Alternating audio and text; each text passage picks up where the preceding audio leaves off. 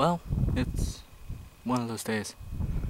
I ran over someone's dog. I didn't go turkey hunting this morning because I had a headache.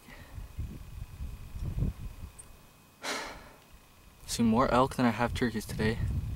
And all the turkeys I've seen I'm spooked. I just spooked a hen. And about 10 minutes before that, I spooked two jakes. Well, a tom and a jake with a hen.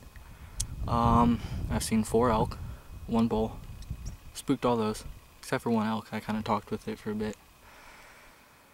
And I jumped six deer.